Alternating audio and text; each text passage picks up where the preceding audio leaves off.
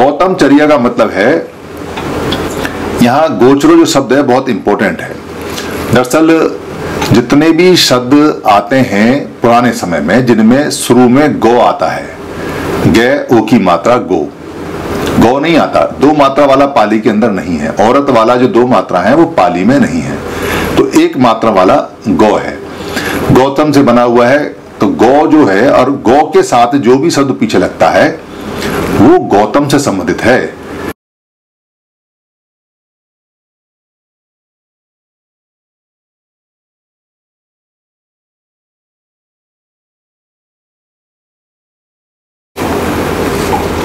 धम्मपद, गाथा, कथा नंबर बानवे या 92 ये जैतवन बिहार की सावित्री की कथा है।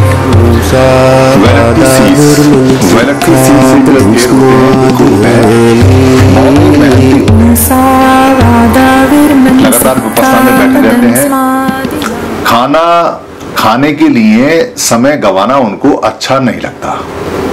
मगर नियम है विनय का कि पिंडचारिका के लिए, धम्मचारिका के लिए जाना पड़ेगा। यानी कि धम्म सिखाने के लिए लोगों को जाना पड़ेगा और जहाँ धम्म सिखाएँगे तब उसके बदले में खाना लाना पड़ेगा। तो वो धम्मचारिका करने के लिए पिंडचारिका करने के लिए वहाँ से निकले जैतवनाराम से, जैतवन बिहार से, और उन्होंने चार पाँच घर जैसा भी नियम था, वहाँ उन्होंने पिंड लिया, आहार लिया। फिर उन्होंने देखा कि आहार थोड़ा कम है। तो दोबारा वो चारिका के लिए गए गाँव में और कुछ पिंड और लेके आए।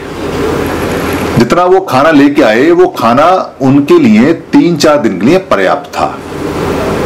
उन्होंने खाना वहाँ खाया, बिहार में आके, और जो एक्स्ट्रा खाना था, फालतू खाना था, ज़्यादा खाना था, उसको सुखा दिया चावलों को। चावल ज़्यादा मिलते थे, और सुखा के रख लिए।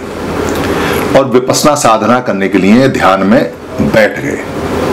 ध्यान में बैठने के बाद में एक दिन बैठे रहे, अगले दिन उनको जब भूख लगी तो वो उठे और जो चावल सूख गए थे, उनको पानी में गीला किया, भिगोया और फिर खाए, और फिर खाकर फिर विपसना साधना में बैठ गए।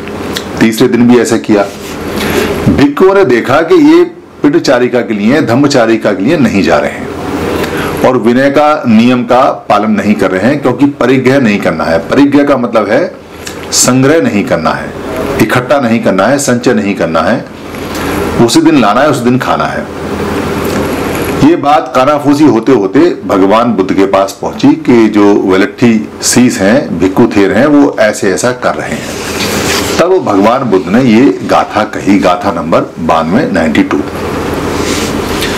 ये संग सच्ची नयो नत्थी ये परियात भोजना सुय तो अनिमित्तो च विमुखो ये संग गोचरो। आकाशे व शकुंतानंग गति तेसंग दुरन्नया। तेसंग सच्चिनयो नत्थी। जो कि संचय करते हैं। सचिनियों का मतलब है सच्चे, संचय करते हैं नत्थी। यानी कि जो ऐसे कर्मों का संचय नहीं करते, जिन कर्मों से साधना में परेशानी आती है जिन जिन कर्मों से पाप कर्म बढ़ता है, जो कर्म दुखदाई होते हैं या आसव होते हैं। आसव का मतलब होता है कि जो पाप कर्म होते हैं। ये परियात भोजना, ये परियात भोजना, ये माने जो, और परियात का मतलब है पूरी तरह से ज्ञात भोजना, यानी जो भोजन की मात्रा को पूरी तरह से जानते हैं। सुइयो तो अनिमित्तो च शून्यतो का मतलब है शून्य यानी एकांत में। जो एकांत में रहते हैं, एकांत ढूंढते हैं, एकांत में विचरण करते हैं, एकांत में साधना करते हैं, तप करते हैं। अनिमित्तो च, अनिमित्तो का मतलब है बिना कारण के, यानी कि कोई कारण नहीं है, ऐसा कि जो एकांत में ना जाए। च और विमुखो ये संग गोचरो। विमुखो का मतलब है निब्बान पद के लिए, मुख होने के लिए, विमुक्त होने के लिए, विमुक्त होने के लिए क्या करते हैं ये संग जो कि गोचरो। गोचरो का मतलब है गौतम चरिया। गौतम चरिया का मतलब है, यहाँ गोचरो जो शब्द है बहुत इंपॉर्टेंट है। दरअसल, जितने भी शब्द आते हैं पुराने समय में, जिनमें शुरू में गौ आता है, गे, ओ की मात्रा, गो। गौ नहीं आता। दो मात्रा वाला पाली के अंदर नहीं है। औरत वाला जो दो मात्रा है, वो पाली में नहीं है। तो एक मात्रा वाला गौ है।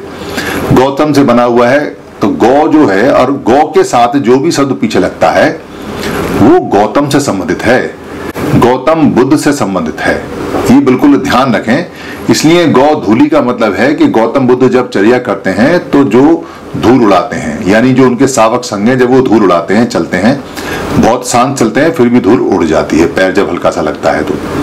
ऐसे ही गौतम चर्या का मतलब है कि गौतम ने जो जीवन की चर्या अपनाई और जिससे निपान प्राप्त हुआ, जिससे अमृत प्राप्त हुआ, जिससे मुख प्राप्त हुआ, जिससे वो अमृत पे छक लिया जिससे उस चर्या को, चर्या जो होती है, जैसे दिनचर्या बोलते हैं, यानी पूरे दिन में जो कार्य किए जाते हैं, दिनचर्या। वैसे चर्या चार प्रकार की है, उठना, बैठना, सोना और चलना। जो मनुष्य, यानी नर है या नारी है, जो चार तरह का या जो पशु है, चार तरह के जो काम करता है, उसको चरिया बोलते हैं। तो गौतम की जो चरिया है, उस चरिया से ये जो निब्बान प्राप्त करते हैं, बिना वजह, जो बिना कारण के नहीं रहते और एकांत में जाके बैठते हैं, एकांत में जाके रहते हैं।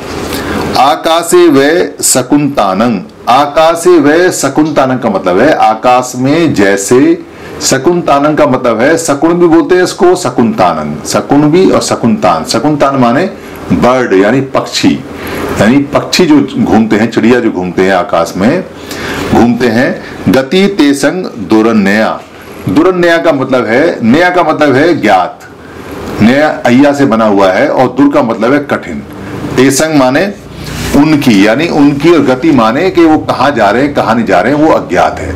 यानी कि उनकी जो गति है उनकी ये जानना अज्ञात है कि वो कहाँ उड़ रहे हैं कहाँ जा रहे हैं। जैसे आकाश में पंछी है उन लोगों के लिए जिन्हें भोजन की मात्रा का पता है और जो जो बुरे कर्मों का संचय नहीं करते अच्छे कर्मों का संचय करते हैं और जो एकांत में जाते हैं जबकि कोई कारण ऐसा नहीं होता कि वो एकांत को छोड़ें यानी एकांत में रह, रहते हैं। और भगवान बुद्ध के बताए हुए रास्ते पर विमुख होने के लिए, निब्बाण होने के लिए वो चलते हैं। ऐसा बताया तो यहाँ जो विनय का नियम टूटने की बात भिक्को ने भगवान से कही थी, भगवान ने उसको विनय के नियम का टूटना नहीं माना। कारण क्या है कि विनय के नियम भगवान बुद्ध ने बाद में बनाए हैं। सबसे पहले भगवान बुद्ध को धम्म के दर्शन हुए, यानी धम्म सीखा उन्होंने प्रकृति में कैसे काम करता है, शरीर और मन कैसे काम करता है। फिर उन्होंने लोगों को सिखाना शुरू किया। जब उन्होंने सिखाना शुरू किया तब सिखाने में जो दिक्कत आई, उसके नियम जो बने, उनको विनय के नियम बोलते हैं। एक एक एक एक परेशानी आती गई और एक एक एक एक नियम बनता रहा। पूरे जीवन नियम बनते रहे। आखिर में उन्होंने, भगवान बुद्ध ने यह भी कहा आनंद को कि कुछ नियम अगर छोड़ना चाहे भिक्खु संघ तो छोड़ सकता है। और इसका मतलब ये भी है कि कुछ नियम जो आगे समय में आएँगे, जोड़ना चाहे तो जोड़ भी सकता है। कुछ भिक्खुओं ने उसको नियम को छोड़ा भी, जो नियम ऐसे थे जो उस समय बेकार हो गए। उसी तरह से भगवान बुद्ध ने जो, क्योंकि मेन जो ऑब्जेक्ट है वो है विपसना साधना करके और मुक्त होने का है। और अगर मुक्त होने का मार्ग बिल्कुल ठीक है और विनय के हिसाब से वो बिल्कुल ठीक है और ऑब्जेक्ट बिल्कुल ठीक है तो इसका मतलब वो नियम ठीक है। भगवान बुद्ध ने जब बोधि का लाभ प्राप्त किया तब भी उन्होंने खाने को संचय किया, खाना इकट्ठा किया था। क्योंकि खाने के लिए बार बार जाना पड़ेगा तो साधना में विघ्न पड़नी पड़ेगी तो खाना उन्होंने अपने पास ही रख लिया था। साधना करते रहते थे और जब उनको लगा कि अब भूख लग रही है और शरीर अब साधना का साथ नहीं दे रहा है, क्योंकि बीमार शरीर होगा या भूखा शरीर होगा तो ध्यान साधना नहीं कर सकता। तो वो कुछ खा लेते थे, फिर वो बैठ जाते थे, तब उन्होंने बोधि लाभ प्राप्त किया। तो उन्होंने इस बात को सही माना कि अगर वो दो तीन दिन की भिक्का इकट्ठी करके सुखा के, अगर वो मात्रा जानता है, भोजन की मात्रा, उसको जानकारी है, यानी कि बहुत ज़्यादा नहीं खाता, बहुत कम भी नहीं खाता, तब उसके हिसाब से ये बिल्कुल ठीक है, क्योंकि वो गौतम की चर्या कर रहा है, निब्बान के लिए प्राप्त है, और वो एकांत में वास करता है, और वो निब्बान की प्राप्त करके बिल्कुल ऐसे उड़ रहा है जैसे आकाश में पक्षी हैं जिनका पता नहीं रहता और जो उड़ते रहते हैं, मेहनत करते रहते हैं। धन्यवाद। आप सभी से ये निवेदन है कि अगर आपको ये वीडियो अच्छी लगती है या बाकी वीडियो अच्छी लगी हैं और आपको लगता है कि धर्म की वीडियो किसी को और मिलनी चाहिए या किसी को गिफ्ट में भेजनी चाहिए या किसी भाषा में कन्वर्ट करके आगे बढ़ानी चाहिए या प्रिंट में, किताब में छापनी चाहिए या इसकी जो ऑडियो है उसे निकाल के भेजना चाहिए या इसका किसी पार्ट को इस्तेमाल करना चाहिए तो आपको लिबर्टी है, आपको छूट है। ये सभी कॉपीराइट फ्री हैं। आप अपने फेसबुक पे, अपने पेज पे, अपने ट्विटर पे या अपने हैंडल पे या लिंक को कहीं भी शेयर कर सकते हैं, कहीं भी चला सकते हैं। आप यूट्यूब पे भी चला सकते हैं, अपने नाम से चला सकते हैं। इसके लिए इजाज़त लेने की या परमिशन लेने की बिल्कुल भी ज़रूरत नहीं है। आप इसको अपना मान के चलाएँ, क्योंकि धम्म सबका है। हम जो बताते हैं वो भगवान बुद्ध का है या महापुरुषों का है। उन्हीं की बात को सरल भाषा में बताते हैं। हमारा सिर्फ़ इतना राइट है इस पे कि हम इसको लोड कर देते हैं। बाकी सारी ये पूंजी आपकी है। धन्यवाद।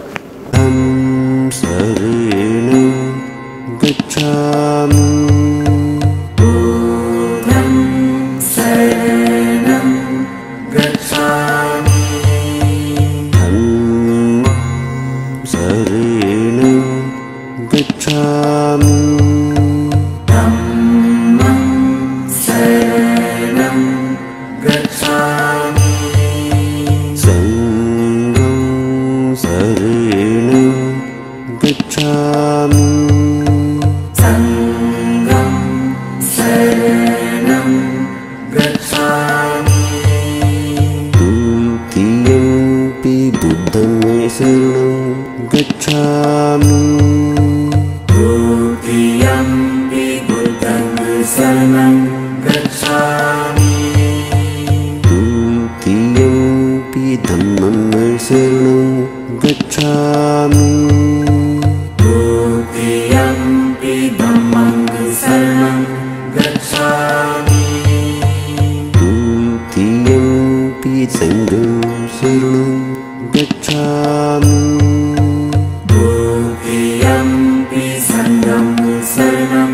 गच्छामि।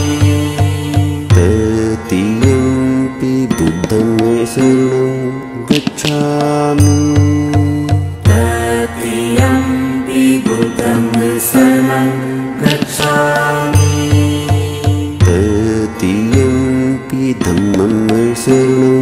गच्छामि। मङ्गच्छामि धम्मं गमनु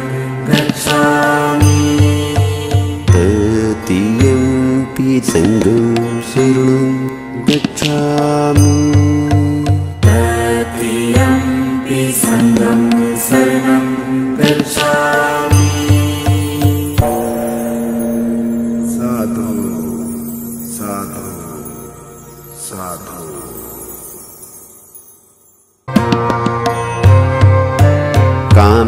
దేశ నిచ్చటార వేరుమని సిక్ఖాపదిం స్మాదియామి కామేసు మిచ్చటర విరుమని సిక్ఖాపదం స్మాదియామి కామేసు మిచ్చటర విరుమని